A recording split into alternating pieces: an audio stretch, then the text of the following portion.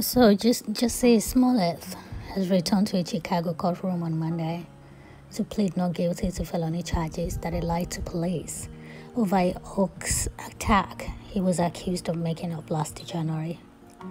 Smollett, who is 37 years old, has been charged with six counts of felony disorderly conduct during Monday's hearing. Moments after he arrived, Abel and Olash Osundairo the two Nigerian brothers who say paid them to attack him showed up at the courthouse with their attorney. She told Daily Mail last week that the pair were prepared to testify for either side in the case and they want Smollett to take to tell the truth.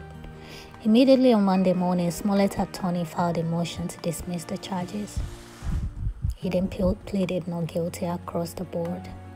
Last March, Smollett pleaded not guilty to 16 counts of the charge in the same courthouse last year, just weeks before the Cook County State Attorney Kim Foxx's office abruptly announced he was dismissing the case, angering police and City Hall.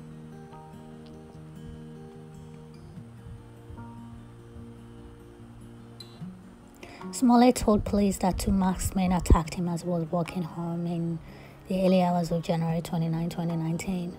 He said they made racist and homophobic insults, beat him, and looped a noose around his neck before fleeing, and that at least one of his attackers was a white man who told him he was MAGA country, a reference to President Trump's campaign slogan, Make America Great Again.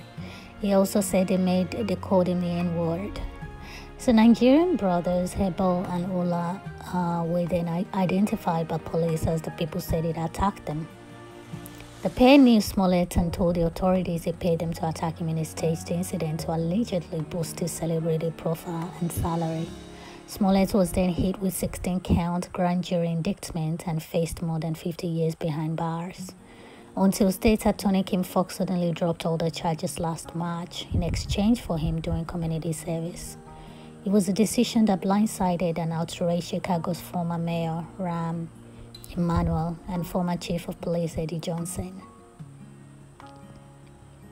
Smollett, who has all along insisted his innocence, then sued the city for malicious prosecution. His attorney, Tina Glandian, issued a statement on Tuesday and said, the attempt to re-prosecute Mr. Smollett one year later on the eve of the Cook County State Attorney's election is clearly all about politics, not justice.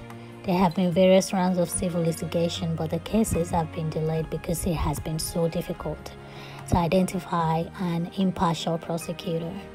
Webb was eventually brought in to examine the case. The saga began on January 30th last year when he emerged that Smollett claimed he'd been a victim of a racist anti-gay attack.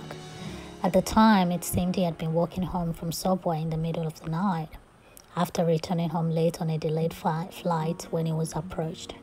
He told police afterwards his attackers identified him from the show he was on, Empire, and called him both the N-word and uh, F-word.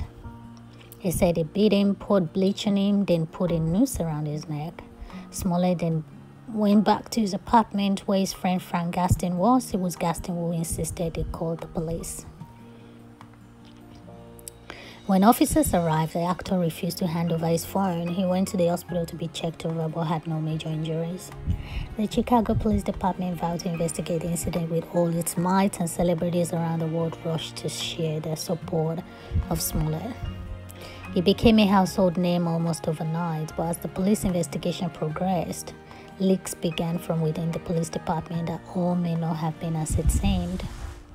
As the controversy grew, Smollett determined to make his case went on Good Morning America, where he cried and insisted he was telling the truth.